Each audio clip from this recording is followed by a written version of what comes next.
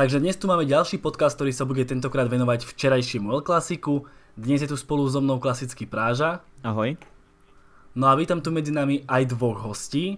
Tým prvým je Jan, ktorého už môžete poznať z podcastu v Barcelone. Ahoj. No a vítam medzi nami aj Mateja, ktorý je zastupiteľom československých fanúšikov Realu Madrid. Ahojte. No a začnem rovnou tebou, tebou Matej. Opýtam sa ťa asi veľmi jednoduchú otázku. Ako si spokojný s dnešným zápasom a čo hovoríš na jeho priebeh? Tak tá otázka je naozaj veľmi jednoduchá, keďže Real Madrid vyhral, tak si myslím, že spokojnosť musí byť, ale okrem toho výsledku samozrejme budem podľa mňa hovoriť aj za viacerých fanúšikov, je spokojnosť aj s predvedeným výkonom, čo je veľmi dôležitý moment, hlavne po tých posledných troch zápasoch, kedy to veľmi nevyšlo. A myslím si, že práve tento zápas je takým správnym odrazovým mostíkom do tej, môžeme povedať, poslednej časti sezóny. Jan, z tvojho pohľadu zápas asi, asi sklamanie. Zklamání vyloženě ne, jako mohlo to do, samozřejmě dopadnout líp, nějaký šance tam byly, ale tak nějak jsem tady to čekal.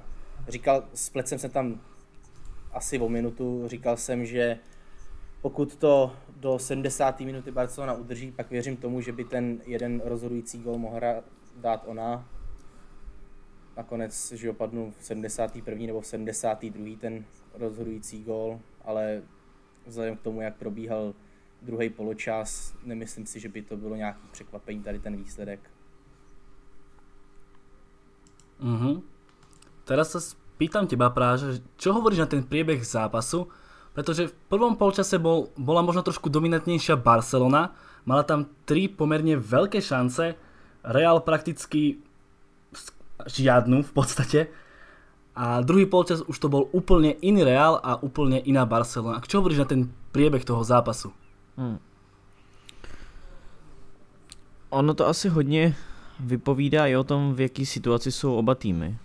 Protože nebylo to klasický El Clasico, když si pamatujem, eh, dejme tomu pět let zpátky a víc, nebo i tři roky zpátky a víc, tak bylo to mnohem víc defenzivnější. Bylo to vidět, že ani jeden tým si úplně není jistý, podle mě, tím, možná tím stylem, jakým hraje, nebo možná není si tak 100% jistý, aby šel do toho 100% ofenzivně a proto oba týmy to i vzali, co se týče třeba rozestavení, dost po defenzivní stránce mi přišlo. Vlastně oba týmy hráli ve 4-4-2 a bylo tam jakoby víc zajímavých věcí. Co se týče toho zápasu, tak druhý poločas mě bavil určitě mnohem víc. Byli tam hráči, který, který mě zaujali víc, byli tam hráči, který mě zaujali míň.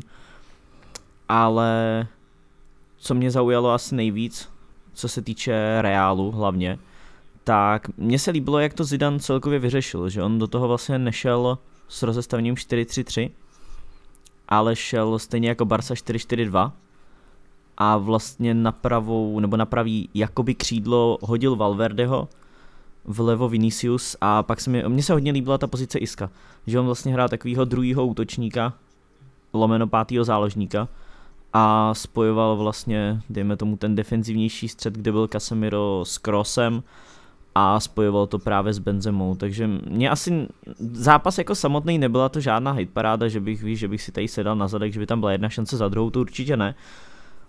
Ale po téhle stránce se mi to minimálně ze stranu Realu líbilo a bylo tam zase po taktické stránce něco zajímavějšího.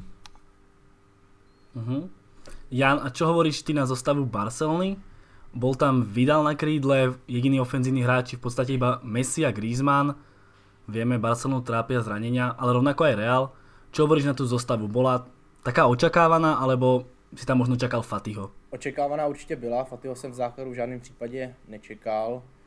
Psalo se teda, což mě docela překvapilo, v těch předpokládaných, že tam bude Braithwaite, což by mohlo být lepší, ale osobně jsem právě počítal s tím, že bude hrát Vidal, bylo vidět, že to se jen zkouší a i když Vidal podle mě v tom základu není tak dobrý jako z lavičky, stejně jsem byl přesvědčený, že ho tam dá. A co se týče toho rozestavení, tam to nějak vyplnilo z té situace. Mm. Máte tvoj nejaký názor na zostavu? Čakal si niečo iné? Možno Marcelo prekvapil? Alebo aký je tvoj názor na tú zostavu? Myslíš zostavu Real Madrid, áno?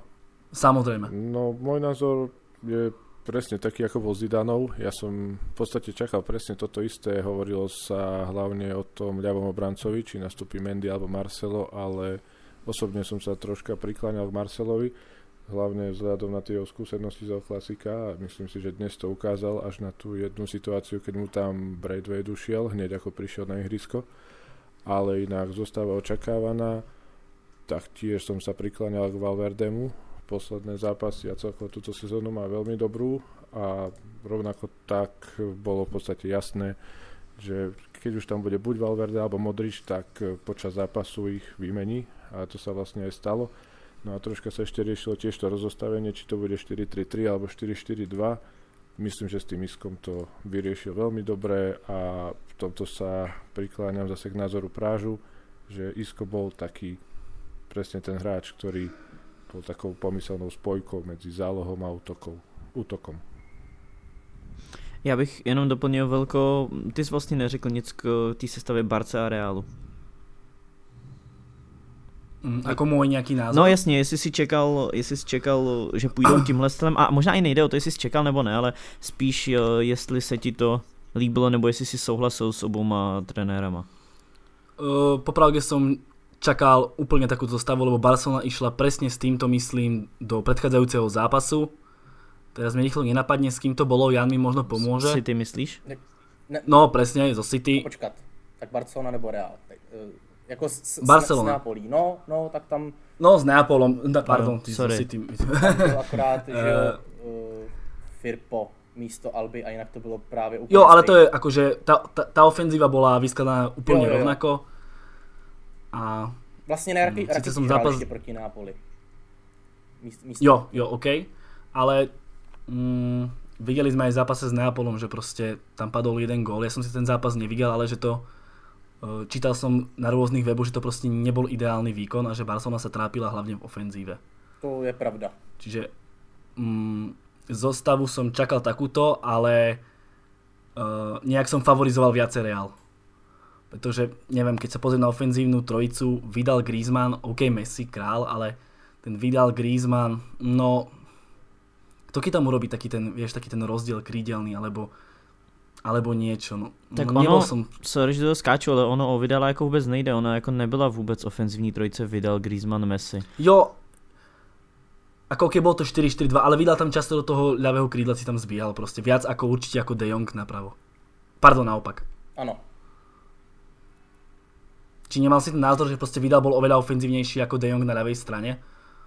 Mm, jako tlačil se víc do zakončení, ale nějak bych to nepřirovnával k, k pozici Messiho s, s Griezmannem. Ono to bylo čistě jenom o tom, že Barca prostě hrál se čtyřma záložníkama uprostřed hřiště, měli tam prostě čtyři hráče, chtěl to zůstit uprostřed a vzhledem k tomu, že zvolil prostě defenzivnější taktiku, z mého pohledu jel se jen čistě na remízu, stejně jako v Neapoli si šel pro, pro bod za remízu 0-0, s tím, že samozřejmě může tam padnout gol, tak stejně tak si šel pro remízu i dneska tím, že v Neapoli to vyšlo a Ale myslíš si, myslíš si, že šiel vyslovene na remízu, pretože prvý polčas pre mňa bola Barcelona lepšia. Z, Nehovorím, že dominovala tak, ako Real dominoval v druhom polčase, ale proste Barcelona bola v prvom polčase lepšia. Má tam tri tutovky a nebyť famozného Courtoisa možno by bolo po zápase z mýho pohledu, jo, pokud postavíš takhle tu sestavu, tak nemyslíš, jasně, vždycky chceš vyhrát, to je úplně přirozený a samozřejmě mohli vyhrát, mohli dát goly v prvním poločase, ale když se podíváš, jak ten tým byl postavený, tak to nebylo postavený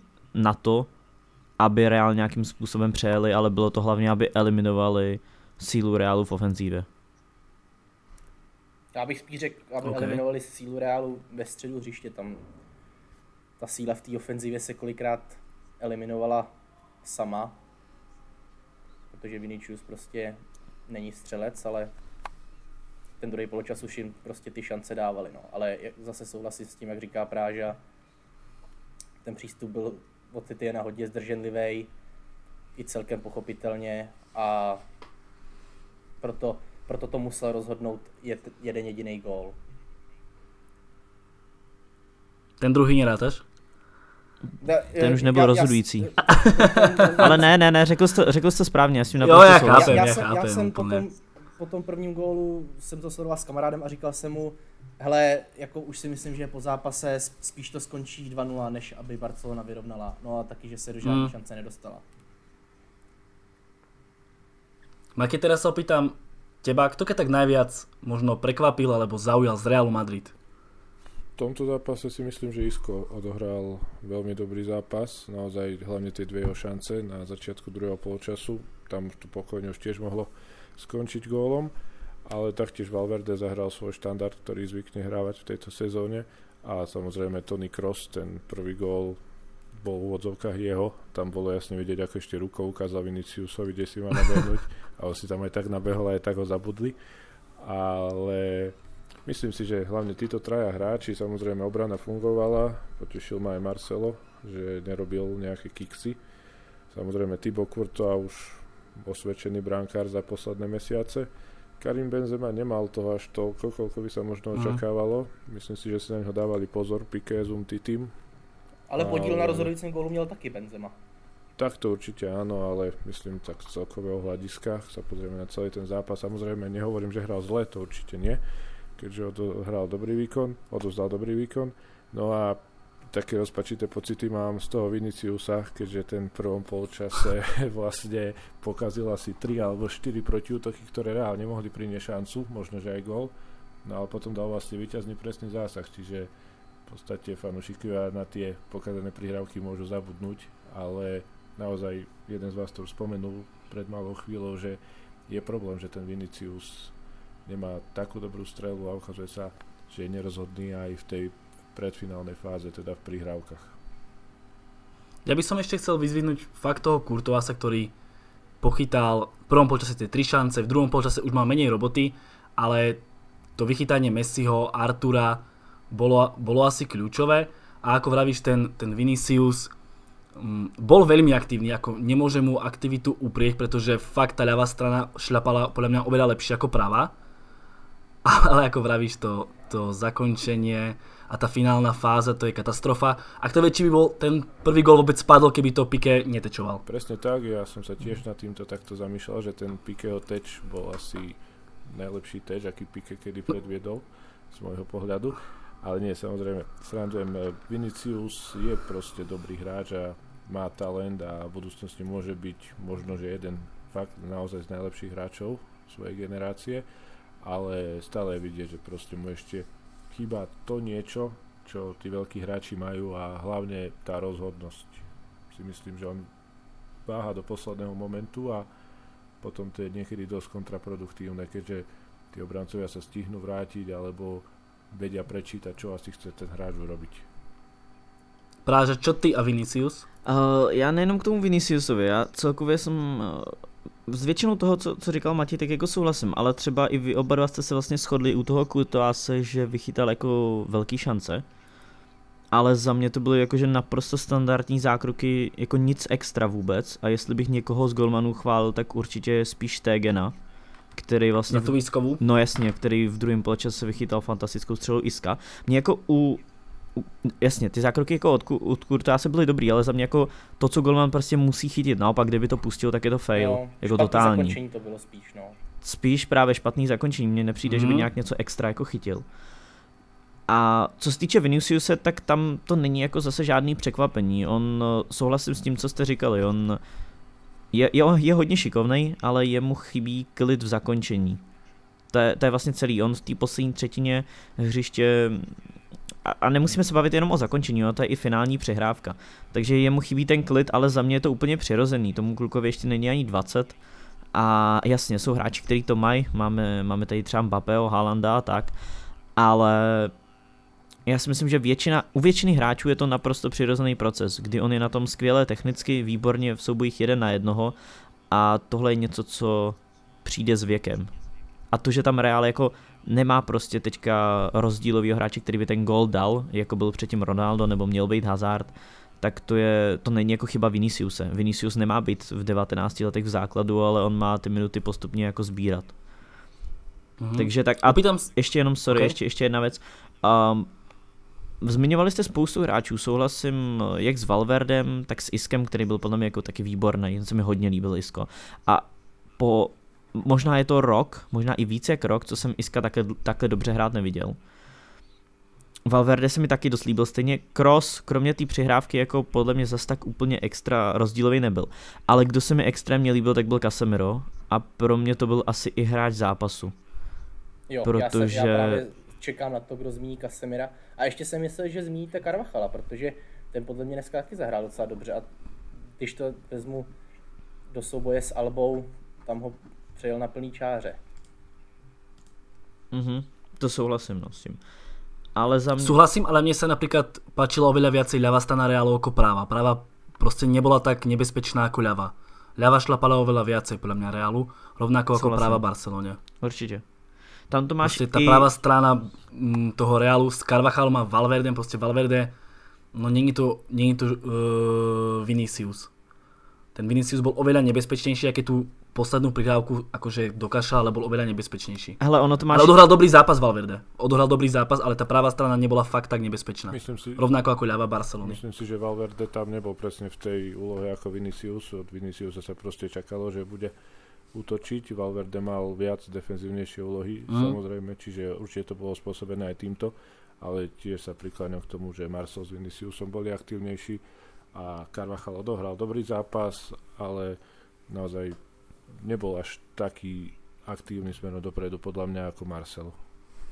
Ono to máš eh, krásně podpořený i číslama. Když se podíváme, kudy útočil Real, tak máš 46% po levé straně a 26%, 26% mm. po pravé straně, jo? takže to máš skoro dvojnásobný nárůst, uh, kudy jako Real útočil. Takže s tím a máš aj Barcelonu, protože podle mě aj Barca viac útočila po té pravé straně, právě po té Marcelovej.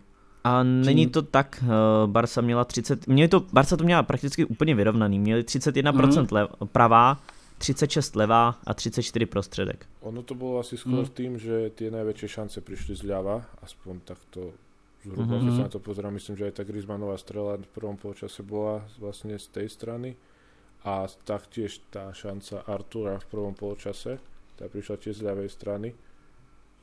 Tam vlastne Griezmann prihrával Arturovi za obranu tiež z ľavého krídla, takže možno to tak opticky vyzeralo. Mm-hmm. Jo, jenom, jenom jsem to nedokončil s tím Kasemerem. Mně prostě Kas, Kasemiro se mi extrémně líbil a myslím si, že on byl i hlavní důvod, proč třeba Messi prakticky v zápase neudělal vůbec nic. Nebo hodně málo a on, on ho tam jako totálně vymazal několikrát, i po, jak pozičně, tak i co se týče obraných zákroků, zbytečně nefauloval za mě jako naprosto, naprosto vynikající výkon. A tak... můžete klidně i vyříct, kdo byl podle vás hráč zápasu, za mě to byl teda Casemiro, ale mm, Matěj vlastně zmiňoval několik men, ale zajímalo by mě, kdybyste měli jako vybrat jednoho, tak koho byste vybrali vy jako nejlepšího hráče? Já bych souhlasil Matěj, může klidně prvý? Já určitě nenamietam proti tomu Kasemirovi, akurát sa pozerám na zostavu a vlastne preto som aj spomenul viac tých mien, keďže nešlo mi do hlavy iba jedno, každý tam nejakým svojim dielom prispel, ale aj keď samozrejme Kasemiro určite bol jeden z najlepších hráčov, tak ja by som možno spomenul Iska, ktorý naozaj, ako ste aj vyspomínali, odohral jeden z najlepších zápasov za posledný rok, ak nie najlepší, alebo aj za dva. Čiže určite ku Kasemirovi by som pridal toho Iska a ťažko sa rozhodovať. Samozrejme, Vinicius mal lepšie aj horšie chvíľky, takže ostaňme pri tom Iskovi, podľa môjho názoru. Ja to dám tiež Iskovi hlavne za druhý polčas. Za prvý z Realu by som to nedal absolútne nikomu. Tam, ako som vravel, ten Kurtová, tie dva zákroky. Inak z Realu sa mi nepáčil prvý polčas skoro nikto, ale v druhý polčas Isko za mňa. Okay. Takže máme dvakrát Isko a dvakrát Casemiro. Tak to musí rozhodnúť diváci fanúšikovia, roz, fanúšikovia rozhodnú, no. to som chcel povedať. Ešte teraz otázka, Jan, na teba. Uh, OK, vieme, Zidane je proste ostrelaný vo veľkých zápasoch. Setien mal pred sebou prvé El Clasico. Ako to zvládol? Mm, ani špatný, ani dobrý. Zvládnul to, říkám, podle očekávání, šel s, s tím, na co Barcelona měla. Mohl možná střídat dřív, ale to je těžko, říct, že on by udělal něco špatně. Jestli málo trénovali rozehrávku zase, to nevím, na, na tréninku jsem nebyl, ale tam, tam ta rozehrávka ve druhém poločase byla fakt strašidelná. To podle mě nakonec ten zápas rozhodlo, ta, ta pasáž právě po změně stran. Ale otevřený to bylo. Ale hlavně ten pressing, aj ten pressing Realu bol oveľa intenzívnejší, to by som tiež dodal. Jo, to určitě, ale tak za stavu 0-0 Barcelona v klidu mohla od, odkopávat. Tam to si myslím, že... Bol by si spokojný s výsledkom 0-0? Respektíve remízou, jo, jednou určitě. jakou? Určitě by jsem byl spokojený s remízou, jak si říkal, nebo Práža to říkal, že se ty to šel hrát mm-hmm. na Mhm. remízu, já si myslím, že to byl docela logický přístup, ale za to, co Barcelona ten druhý poločas předváděla, si jednoznačně potrestat zasloužila. Ale zklamali mě tam zároveň některé individuální výkony, zejména od De Jonga. A jak jsem říkal, ten, ten i když jsem to vydale čekal do základní sestavy, nemyslím si, že je to hráč, který by do toho základu patřil, nebo automaticky patřil. Ne, neodehrál podle mě moc dobrý zápas. Mne sa Vidal páčil prvých 15 minút možno. Hm. Osobne. No a teraz sa vás opýtam, možno všetkých. Real je momentálne prvý, udrží to, je príliš skoro hovoriť. Práže môžeš, ty si dlho nerozprával. Mm, je hrozně brzo. Je, je, je prostě hrozně brzo. Já si myslím, že tohle vystihuje úplně všechno. Já osobně... A keby si mal povedať, že koho favorizuješ, Mm, OK, mm, je já, stále já vím, já... 1. marec, ale Mm. Já nad tím právě přemýšlím, no, protože to, co dneska ukázal Real, tak mělo potenciál. Ale možná, možná, že bych víc asi favorizuju víc i tu Barsu. A je tam, je to jako jednoduchý odůvodnění, což je faktor Messi. Já prostě věřím tomu, že Messi to doká- dokáže, on sám dokáže spoustu těch zápasů rozhodnout. Ono ve velkých zápasech to je mnohem náročnější, protože ty týmy jsou disciplinovanější a celkově prostě ta taktika toho týmu je lepší, zároveň dokážou líp držet míč a tak dále. Ale přece jenom v těch menších zápasech Real bude mít obrovský problém dávat góly. A to je i důvod, proč bych favorizoval spíš Barcu na ten titul, protože já si myslím, že se do, kon- do konce sezóny ještě může klidně několikrát stát, že Real ztratí v zápasech, kdy to my nebudeme čekat. Takže to je takový můj jako odhad, ale myslím si, že to bude boj do posledního kola, ale asi trošku favorizuju tu Barcelonu. Takhle, kdybych viděl, že Griezmann už nebude hrát vlevo, ale bude hrát v útoku, tak budu 100% favorizovat Barsu. Teďka pořád, já tomu Setienovi jsem zatím jako nepřišel na chuť. Samozřejmě hrozně brzo, ale uvidíme, ale i tak pořád, se, jsem spíš pro tu Barsu, abych to neprotahoval. Mhm, teraz ešte poviem ja a potom vyzvem našich fanúšikov. Uh, za mňa to je tak, že keď som dneska sledoval Barcelonu, povedal som si, že prečo by mali oni vyhrať tú La Ligu. Ten výkon sa mi jednoducho vôbec nepáčil. To souhlasím. Na, na druhú stranu, ako vravíš, majú toho Messiho. A ten môže zohrať fakt podstatnú rolu. A keď sa pozrieš na ten tým Barcelony, Benzema dneska vypojený, Vinicius, vieme akého koncovka, no a kto ti tam iný dá gól, hej, je to také Mhm. dosť, mm, bude to dosť, ako si povedal, v tých uh, menších zápasoch možno vidieť, ale mňa si dneska Real získal trošku viacej a Barcelona ma dosť klamala. Aj keď bol to veľký zápas, ale asi Real. Já, já, to, já to jenom ještě doplním. Uh, on podle mě, styl, jakým dneska hrála Barsa, tak to je podle mě styl, kterým nemůžeš hrát proti těm menším týmům. To znamená s tím, že budou hrát 4-4-2, eh, že s tím, že Griezmann a Messi jsou úplně odříznutý v útoku, Mm. tak to je podle mě, to je styl, kterým jako určitě, ne, nebo snad, jako snad ne, nebo snad uh, pro fanoušky Barcelony, nebudou hrát tím Leslem proti těm menším týmům. Proto já tenhle zápas neberu jako nějak směrodatný. Ono to vždycky je tak, že nepovede se ti El Clásico a teďka už se ti nedaří, bla bla bla, ale ono ve finále to není zas tak moc úplně směrodatný, protože oni budou hrát proti menším týmům budou hrát úplně jiným stylem, než budou hrát proti Realu nebo případně s Atletikem. Jo, prostě těch velkých zápasů je málo a ve finále ligu nerozhodou ty velký zápasy, ale v drtivé většině spíš jak se ti daří dlouhodobě porážet ty menší týmy a tam si myslím, že, že zkrátka Barca by mohla mít trochu převahu. Máte, ty si fanúšik Realu ale opýtam sa na teba, ako to vidíš ty. Udrží to Real, aké mu dáva šance, asi by si si to prijal samozrejme, aby vyhrali, ale tak nejak možno objektívne to nejako zhodnotiť. Tak samozrejme, Real už ten titul potrebuje, myslím si, že aj fanúšikovia ho už nie, že chcú, ale potrebujú, keďže za posledné roky ich veľa nebolo. Určite o to zmene, ako ich má Barcelona. Samozrejme, sme si to kompenzovali tou Ligou majstrov, ale v tejto sezóne ja sa presne toho bojím, čo sa stalo napríklad v posledných dvoch ligových zápasoch zo Celto Vigo a z Levante a tým je Real už v úvodzovkách známy lebo naozaj môže prísť presne takáto nečakaná prehra, remíza a razom je náskok fuč, veď aj tie tri kola dozadu, keď počítame aj toto El Clasico, tak ten náskok nebol zlý, ale zrazu ani nevieme ako zmizol. A momentálne sme síce vyhrali El Clasico, ale tabulke je jeden bod a zase môže prísť remíza, môže prísť prehra, Barcelona vyhrá a opäť budeme druhý a opäť sa bude hovoriť, že sme stratili náskok, čiže myslím si, že toto El Clasico, výhra El Clasico je naozaj skvelá, hlavne na psychickú stránku mužstva, ale samozrejme nemôžu podceniť ten ďalší zápas, pretože ten môže byť úplne iný a aj bude úplne iný a nemôžu sa proste spoliehať na to, že vyhrali s Barcelonou a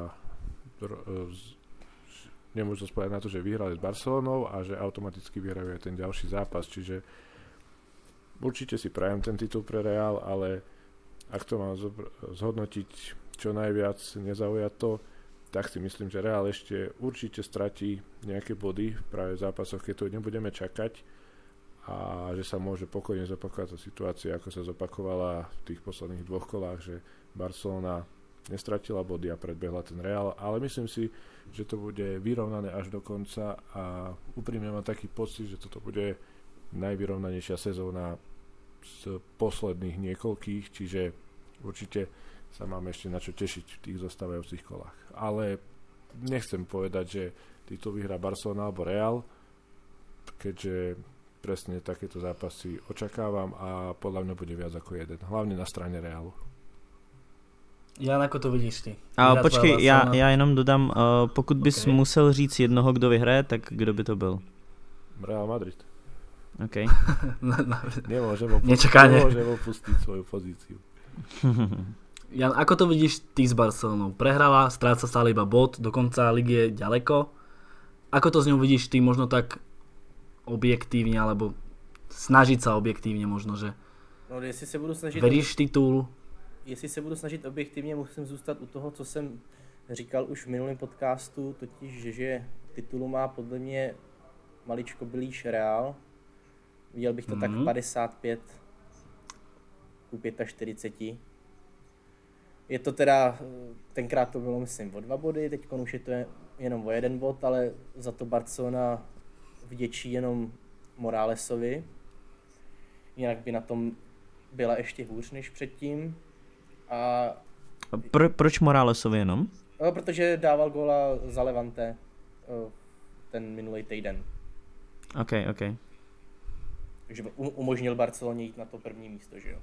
I když se tam moc mm-hmm. neohřál. Mm-hmm. A ještě pár těžkých zápasů Barcelona bude mít a právě faktor Messi je něco, o čem já trošičku pochybuju z toho důvodu, že je vidět už od toho klasika, který se hrálo na podzim, že Messi mu to prostě moc nejde není to úplně střelec, i když dal proti tomu Eibaru 4 góly, to všechno byly takový technický góly. Něco mu tam chybí. My jsme právě o tom spekulovali, jestli to nemůže být kvůli tomu údajnému zranění kyčle, co má, nebo měl. Ale s tím, co hrál dneska, to taky nebylo úplně nebyla to od něj taková ta lehkost, na kterou jsme byli zvyklí dřív. Takže bude to jenom a jenom o Messim si myslím. Ale dovedu si představit, že Barcelona těch bodů ještě postrácí hodně a že to tomu Reálu prostě stačit bude. Hmm, zaujímavé. Uh, já jenom k tomu, k tomu Messimu, já jsem si tady otevřel jenom statistiku, co se týče Messiho tak jakoby co se týče gólu, tak to vlastně tak je. Že on dával 4 góly proti Eibaru, potom proti Chetafe nic, Betis nic, no ve zkratce 4 hmm. zápasy nic, pak dával teda góla s Granadou, pak nic, pak góla Alavesu. Ale on i tak má obrovský přínos, co se týče jako asistencí, protože my když se na to podíváme, tak uh, zápas s Granadou 1-0, gól Messi. Zápas s Valencí prohráli 2-0, takže samozřejmě nic. Potom zápas z Levante 2-1 vyhráli. On sice nedal gol, ale měl dvě asistence, takže nahrál na oba góly. No. Potom zápas s Betisem uh, vyhráli 3-2 a Messi nahrál na všechny, na všechny tři góly. No. A z Chetafe, z Chetafe teda vyhráli 2-1 a dával jednu asistenci, takže on i tak má jako obrovský vliv, i když, i když ty góly jako nedával, ale prakticky, co tady vidím, tak on, jasně, já, já, jsem, ty, já jsem ty zápasy jako úplně neviděl, ale jenom minimálně podle čísel, podle těch čísel jako ten vliv eh, jeho jo, je pořád obrovský. Tady to, já, tady to já samozřejmě v žádném případě nemůžu spochybnit a jsem za to rád, jenom ta asistence už je zase závislá na tom druhém a mm-hmm. Viděli jste to i dneska, Barcelona momentálně nemá střelce. Griezmann není schopný zakončit pořádně z první, Griezmann si není schopný pořádně zpracovat, uh, Faty evidentně není zas takový super talent, nebo není ještě připravený na ten seniorský fotbal pro to, aby hrál v základní sestavě, tak tam je vydal. Možná ten Braithwaite, ten se zatím jeví dobře, ale ještě jsme ho neviděli hrát zase proti týmu, který by byl zatažený. On se i proti tomu Eibaru prosadil díky tomu, že mohl využít prostě rychlost nějaký moment překvapení, stejně jako teď proti tomu mm-hmm. Marcelovi. Takže to, ten by tomu mohl pomoct, ale Eh, bude hrát Barcelona ještě v Sevě, bude hrát ještě s Atletikem, to sice doma, ale může se stát, že budou klasicky všichni hráči pálit, že Messi mu to nepůjde, jako mu to už letos ve velké míře zápasů nešlo, myslím teda střelecky. Takže pro mě by nebylo překvapení, kdyby právě tam ještě přišly nějaké ztráty. Mm. Uh, všetci vieme, trošku odbehnem, ale fakt iba trošku, všetci vieme, ako je situácia týchto klubov v Lige majstrov. Môže účasť v tejto súťaži nejako ovplyvniť výkony v La Lige? Vzhľadom napríklad na úzky káder Barcelony, po prípade na Real Madrid, Matej? Pretože Real to má, Real to má zo City akože dosť nahnuté.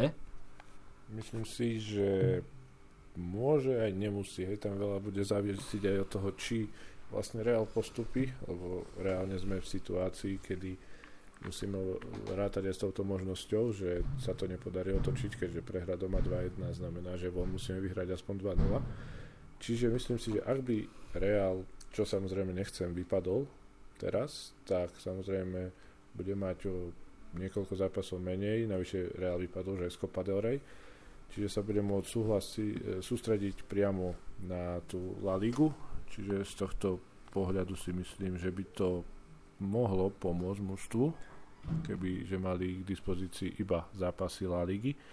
A zase na druhej strane možno by tam nebola, nechcem povedať, že snaha, ale možno nejaký ten pocit vnútorný v tom týme by bol, že už proste sa neboje o tú Ligu majstrov a možno už by do toho nedávali tých 100%, aj keď nemyslím si, že fyzicky by do toho 100% dávali, ale niekde v hlavách by proste mali tú myšlienku, že naozaj, že tá Liga majstrov je už pase. Ono, je to, každá minca má dve strany, ja si myslím, že akokoľvek sa na to pozerám, tak to má proste dve strany. Ak tí hráči budú hrať aj Ligu majstrov, aj Ligu, tak samozrejme budú chcieť vyhrať aj jednu, aj druhú súťaž a pôjdu do toho na 100%. Zase tam je možno nejaké vyššie riziko zranenia, ktoré môže neskôr ovplyvniť niečo, ale ťažko povedať. Ja z akejkoľvek strany sa na to pozerám, vždy mi to vychádza aj za, aj proti, čiže v podstate momentálne ani neviem nájsť odpoveď, presnú odpoveď na otázku. Mm. Jan, tvoj nějaký názor? Já tady z toho důvodu jsem nebyl zas tak rozčílený nebo ne zas tak, já jsem nebyl vůbec rozčílený, když Barcelona vypadla z kopy. Letos ten tým neměl ambice na to, aby mohl pomýšlet na ty nejvyšší cíle ve všech třech hlavních soutěžích. Takže pro mě ta porážka, která v žádném případě nebyla ostudná eh, ve čtvrtfinále s Bilbaem, byla i tady z toho důvodu docela vítaná. Nemyslím si, že by Barcelona měla zas tak velký problém s kádrem, aby se musela nějak šetřit, nebo že by jí Liga mistrů nějak vysilovala. V žádném případě. Naopak u té Ligy mistrů bych řekl, že Barceloně by i v Lize prospělo to, že bude pokračovat dál, že se nějakým způsobem jí bude dařit. Já si nedovedu představit, že by Barcelona dokázala vyhrát ligu mistrů bez toho, aniž by vyhrála v Lize. Jo, ona prostě ten fotbal, jaký hraje, musí přizpůsobit tady tomu, musí hrát dobře konstantně proto si nemyslím, že by jí nějak ohrozilo to, že bude hrát o pár zápasů v lize mistrů navíc. Samozřejmě vždycky je v každém zápase riziko, že se ještě někdo zraní, ale kdo se bojí, nesmí do lesa, že jo? Tak, takhle, k tomu, takhle k tomu velkou klub určitě přistupovat nemůže. OK, uh, mám ešte pre vás jednu takú všeobecnú vec, ale opýtam sa ešte niečo k zápasu, čo by ste chceli, Práža, povedať? Asi, asi nic nějak úplně extra, možná jenom dvě zajímavosti, na které jsem zapomněl během toho, co jsem mluvil. Tak Vinicius, eh, jak dával teda góla, tak jednak to byl jeho první gol v El Clasiku a dal ho dřív jak Messi, nebo respektive v mladším věku. Viniciusovi je 19 let a 233 dní, zatímco Messi mu bylo 19 let a 259 dní. A druhý, co tu mám, takže Setien vyhrál zatím eh, jenom dva zápasy z devíti proti Zidanovi. Což je asi přirozený, protože vedl menší týmy, ale jenom taková uh, zajímavost. Jinak asi nic úplně extra, já si myslím, že všechno už tak nějak bylo řečený. Mm, já mám ještě jednu takovou věc, kterou jsem tak spozoroval, možno nie pri dnešnom zápase, ale dnes je tam možnosť to nejako ešte chvíľku, 3 minútky možno rozobrať. Eh, všeobecne vieme, že El Clasico bolo v jednej ére veľmi také vyostrené, nahajpované, jednak bolo možno aj také ofenzívnejšie, ale bolo také plné emócií. A keď sme sa pozerali na dnešné El Clasico, tak vyostrené až nebolo. Proste bolo také, také, také iné, no neviem ako to nazvať. Neviem, aký je na to váš názor, že už tam chýbala taká tá emócia proste bez červenej karty a bez nejakých To není názor, to je fakt. bytiek. Tady to, to, po odchodu Ronalda to jednoznačně upadlo nějaký celkový ten náboj a celkově jak se snížila úroveň španělské ligy, včetně Barcelony, Realu, je to jednoznačně jiný. Zas na druhou stranu tady ten, tady ten zápas byl o dost lepší, než to, co se hrálo minule, bych řekl. Ale ne, není to to samé, co prostě před pěti rokama. Hele, jak jsme se bavili ještě o té červené kartě, nebo jak jsi zmínil, tak my jsme tady vlastně vůbec nezmínili zákrok Alby, tuším, že to bylo na Valverdeho, pokud se nepletu, v prvním Jo, poločase. na Valverdeho. A protože tam to z mýho pohledu jako neříkám, že to měla být červená, ale dost to zavánilo, protože on už kartu předtím měl, dostal to za strkanici s Carvachalem a potom vlastně šel do toho souboje s Valverdem, kde kontakt tam 100%, 100% To, byl. ale Lahos nepískal, Za- to právě taky docela překvapilo. On to faul, No faul právě a zároveň jako šel, šel, šel do protiútoku, takže podle mě v momentě, kdy to byl faul, tak to musela být červená, eh, žlutá, žlutá karta, to znamená druhá žlutá, v momentě, kdy pískl faul. On ten faul teda nakonec nepísk, což vlastně asi nějakým způsobem odpovídá tomu, jakým způsobem ten zápas jako pískal nebo jakým způsobem ho vedl. Jinak mimochodem jsem chtěl pochválit rozhodčího, který byl na absolutně vynikající. A nebo celkově jak vedl ten zápas, tak se mi to extrémně líbilo a fa- fakt jako Ani si ho prostě neviděl, že tam je. Tak, no, pra, no, dalo by se říct, že ne, ale fa- fakt byl jako vý- výborný, nikdo se nerozčiloval, eh, žádný, žádný jako extrémní chyby, fakt jako hodně, hodně se mi to líbilo. Ale tohle byl asi jediný moment, kdy jsem si říkal, jo, tohle jako minimálně dost zavánilo tou, a já, já jsem ještě neviděl pořádný záznam, takže nechci říkat přímo, že to měla být červená karta. Ale úplně jsem na to i zapomněl, jak jsme se bavili, tak mě by zajímal, zajímal i váš názor, co říkáte na, na ten zákrok vlastně Alby, jestli za to měla být žlutá, nebo jestli se to mělo pustit, jestli to udělal dobře. Môžem ja. Hmm. Ja som to pozeral v opakovačke cez polčas a mm, ja nesúhlasím s červenou kartou. Mhm. Za, mňa, za mňa by to bolo asi moc. Ja, A takhle, soula- nesouhlasíš s červenou nebo se žlutou? Mm, nesúhlasím s tým, aby bol po tomto zákroku Alba vylúčený. Akože A to druhou nejde, žltou. byla to, jestli bylo na žlutou nebo nebylo, tam podle mě jako není, Nie, ako, n- ako n- proste nesúhlasím, aby Alba dostal červenú kartu. Proste. Ako, jestli to nebol na fleku červenú, ale aby, bol, aby dostal druhú žltú. Nesúhlasil som s a tým. první žlutou? Prvá žltá si musím spomenúť, za čo bola. Ne, to nejde o to, je- za, je- takhle, dejme tomu, že neměl tu první žlutou, ale dal by si mu za tenhle žl- Mm, zákrok první žlutou? Nie. Asi nie. OK, protože to je lepší interpretování, než když řekneš, že to Jo, jo. nebyla druhá žlutá, víš? OK. Jo. ja, Lebo aha, on dostal, tu, on dostal tú prvú žltú vlastne za to, že do neho Carvachal štuchol. No ale No, to, ne za to, tam ale tedy, on dostal tu prv, to? první dostal za to, že on se nějak zase ohnal klasicky. já si nemyslím, A- a, mě, ta, mě ta první žlutá přišla taková podivná, protože oni tam měli na sebe s Carvachalem klasický keci, ale akorát Hmm. hmm. Carvachal strčil právě do Alby a mně přišel Alba, že, že nic nedělal a Lahos jako první šel napomínat Carvachala a potom hned jí ukázal mm-hmm. Albovi, jestli to bylo proti, že Alba si furt otvíral hubu, nevím. Hele, to bylo kvůli tomu, že ještě předtím, tak oni tam šli nějak do souboje a Alba ho kopl prostě, kopl Carvachala, úplně mimo souboj. Jakože vyhodil, patou ho kopl, myslím, do holeně nebo do něčeho takového. Víš, takový to, že jdeš do souboje a on ho jakože Rozumím. uh, tak ne, neviditelně kopne a kvůli tomu se Carvachal otočil a strčil do něj. Takže Aha, to, lebo to celý začal Alba. ukazovali, lebo v opakovačky ukazovali iba tú čas, ako Alba stojí, niečo si rozprávajú a v tom do neho Carvachal akože štuchol. Mm. Tak z toho A- som bol trošku tiež Jo. mimo. On, si- on si toho Ale nevšiml asi, asi ten, co se stará o kamery, to nevšiml. Ale že? popravde myslím si, že sa bude menej riešiť to, že Albu nevylúčil, ako to, keby ho vylúčil. Asi takto nejako uzavriem. A zaujíma ma ešte váš názor. Matej, môžeš ty? Alba von alebo nie? ja si myslím, že to nemala byť žltá karta a ani faul, takže to bolo posúdené správne.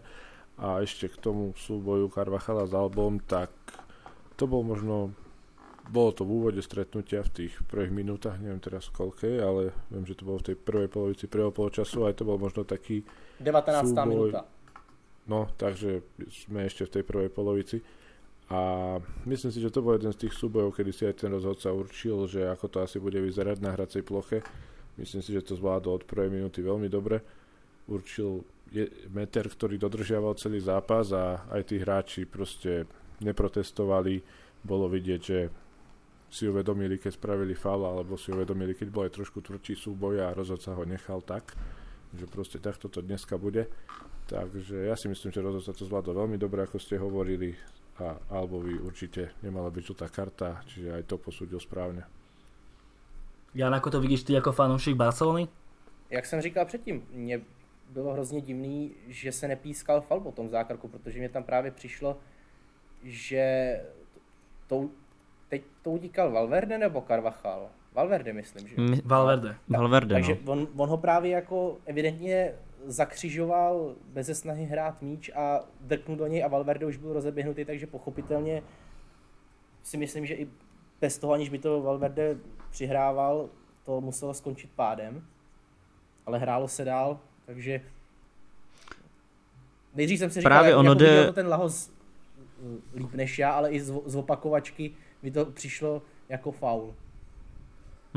Ono, ono jde právě o to, že on už byl v rychlosti a v té rychlosti i, i menší dotek ti dokáže hrozně No rozhodit. právě to jsem zmínil. Takže i, mhm, no pra, právě, tak já, já se asi taky přikládám, jako neříkám teď, jako nejsem si úplně jistý, jestli by to měla být fakt ta žlutá, ale podle mě Mhm. jako minim, úplně a úplný minimum žlut, Faul. Uh, faul plus varování, že další takovej je žlutá a jde ven.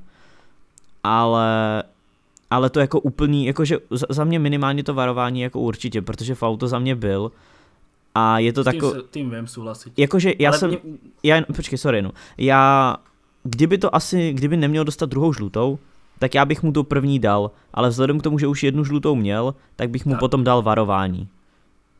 Mm, potom sa podpíšem, to si pekne povedal. Proste ako som povedal ja, že nevylúčil by som Albu. Pretože on už tú žltú kartu mal a nevylúčil by som mu ten zákrok. Asi, asi tak to nejako poviem. Čiže tak. Cool. Ja si myslím podobný názor a zase Lahos to mal pod kontrolou, ale zase keby vylúčil alebo v 19.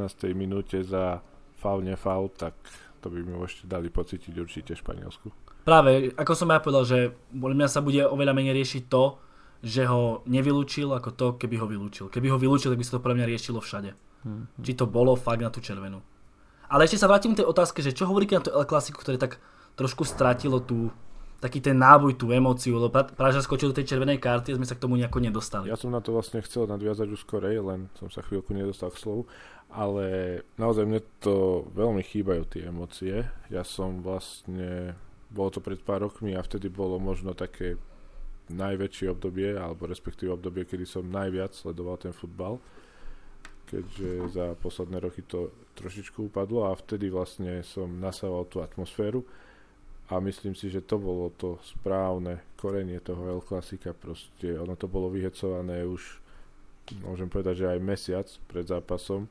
A úprimne poviem, že posledné dve, tri El Klasika som ja mal z toho taký pocit, že je to proste ďalší zápas, nechcem povedať, že s Malorkou alebo s Granadou, nechcem nikoho raziť, ale proste mal som ten pocit, že ani nejde El Clasico, že ide iba ďalšie kolo, lebo predtým fakt pred pár rokmi, keď tam bol aj ten Ronaldo, nech, neviem, či je to len kvôli tomu, že odišiel Ronaldo, ale určite do značnej miery áno, tak to proste sa riešilo týždne, mesiace dopredu, že bude El Clasico, keď sa to už naozaj blížilo, tak proste atmosféra bola všade, internety boli toho plné, kamarátmi sme to v kuse riešili, že kde ideme pozerať klasiko, čo sa stane. Tešili sme sa možno, že aj na tie tvrdšie zákroky, hej, samozrejme, sem tam sa človek poteší aj tomu, ale no, hlavne ja z mojej pozície, keďže sa troška pohybujeme aj pri hokeji, ale samozrejme nie je to len o tom, ale proste celkovo tú atmosféru a o to vypätie aj priamo na tých, aj na tribúnach, aj na ihrisku, mm, nechcem teraz, aby sa tam hráči zranili a kopali, ale dneska som nevidel, respektíve včera, som nevidel žiadny nejaký taký tvrdší súboj, ktorý by mm. fakt postavil ma zo sedadla, že by som naozaj prežíval ten zápas. Myslím si, že fakt tá atmosféra toho El Klasika trošku stratila na svojom čare a je to už také komornejšie. Ja súhlasím, ja som tiež niekedy kritizoval niekedy tie teatrálnosti a tie brutálne zákroky, ale na druhej strane to človeku chýba. Taká tá emócia, takéto že ide po tom trávniku, proste jazdí to tam hore, dole, sem tam, tam trochu tú nohu vložiť do toho súboja, že je to také menej také, také nahecované. Práve ako to ty hodnotíš, pretože ty si písal aj knižku o Mourinhovi mm. a tam tá doba Guardiola Mourinho bola akože poriadne nahypovaná, tam mm. poznáme až tie bitky, to, to už bolo asi až moc, ale asi tiež chýba trošku tá emocia v tom El Clasiku. Mm, mně chybí to, že v tom není taková energie, ale ty teatrálnosti mi teda v žádném případě nechybí, protože já jsem to spíš kritizoval tu dobu, než bych, já, já jsem z toho několikrát z El Clásica jsem měl fakt takovou emoci, že mě bylo, up, mě bylo skoro jedno, co se stane na hřišti a přišlo mi, že důležitější bylo, kdo, kdo se tam, víš, kdo dostane červenou kartu, kdo Pobyl. se s kým pohádá. A víš, a pro mě osobně je příjemnější sledovat víc ten fotbal. Já mám rád, když, když jsou souboje do těla a tak dále, to je za mě super, ale ne ty teatrálnosti. A mně přišlo, že to byla jako totální komedie právě v tuhle dobu. Že to, mm-hmm. že to ani s fotbalem, jako... hlavně za dobu Mourinho. Potom už se to takhle. Myslím si, že když odešel Mourinho, tak možná rok, rok a půl potom se to trochu uklidnilo. A pak už to bylo podle mě takový ten ideální, ideální scénář, mm. že furt to bylo vyhrocený, ale už, už skončili takové to, že Pepe nakopne Alvese, on se ho ani nedotkne, on tam udělá 8 metrový salto, jo, jo, jo. Pe- Pepe je vyloučený, víš, a takové ty věci prostě nebo že Mourinho prostě pích, píchne, píchne trenéra Barci do oka a prostě takovýhle jízdy. To je, to je za mě jako úplně mimo a tohle mi třeba mm. nechybí. Mně osobně to fakt nechybí, protože mi to spíš vytáčí tyhle věci, než by mi to chybilo. Ako vravím, ty teatrálnosti boli moc, ale jo, tá, jo. všeobecne tá emócia na tom, na tom ihrisku, jo, to 100%, to 100%. a bolo a... také nahypované, to nám asi všetkým chýba. Hele, to, to úplně jednoznačně, to, to mě taky, a je to, já jsem to viděl, já to vidím i sám na sobě, já prostě dneska jsem se šel dívat a stejně jako kdybych mm. se šel koukat na Inter Juventus, který byl přeložený, tak bych to měl stejnou emoci. Prostě jdu se podívat na zápas dvou velkých týmů. Super, je to hmm. fajn, jako jsem rád, že, že hrajou mezi sebou, protože na Real Mallorca ani Barca Mallorca bych se šel, nešel dívat. ale na tenhle zápas říkám, jo, super, těším se, ale když byl to fakt El Clasico, že byl to Ronaldo versus Messi a uh, víš, byly to týmy, které byly fakt v tu dobu nejlepší na světě, tak to mělo úplně jinou emoci. Já říkám, wow, úplně El Clasico a od rána už jsem se na to těšil, to teďka určitě nemám. Už týždeň, už prostě týždeň dopredu si vedel, že v sobotu večer alebo v nedelu večer prostě, že nič nerobíš, vegal si prostě, že to je ten dátum toho El Klasika mm-hmm. a nič iné sa neriešilo. Přesně Ešte tak. Jan, tvoj nějaký názor na to a, a můžeme to celé Tak já už to předtím říkal, na to El Clasico. předtím říkala, teď bych asi opakoval to, co už tady zaznělo. Mhm. Tam chybí tam tempo, chybí tam kvalita, že tam chybí emoce, to by mě až zas tak nevadilo, i když samozřejmě to tomu zápasu taky dodávalo výjimečnost, ale i s tím, že oba dva ty týmy nastoupí v sestavě, v sestavení 4-4-2, je to potom taková ta taktická bitva, nasvědčuje tomu celkovému úpadku. OK. Myslím si, že ideme 50 minút, že sme všetko prešli, neviem, ak by ste ešte chceli niečo povedať, dodať, kľudne môžete. Za mňa asi fakt všetko. Myslím si, že 50 minút bolo, bolo fajn.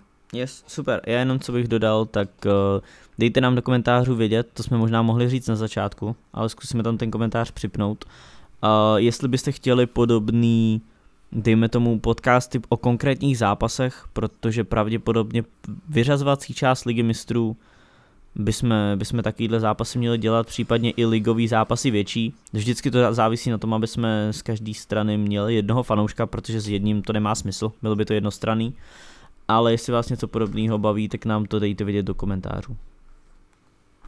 Tak, takže Matej a Jan, ďakujeme vám za účasť. No a s vami sa lúčime. Nazdar. A děkuji za pozvání a ještě gratuluju teda k výhře Reálu, co jsem nestihl. Oh, Hmm. To ďakujem je za a kvůli tomu určitě Ďa- bylo, bude zajímavější. ja tiež teda ďakujem za pozvanie a ďakujem aj za tú gratuláciu teda, samozrejme. majte sa.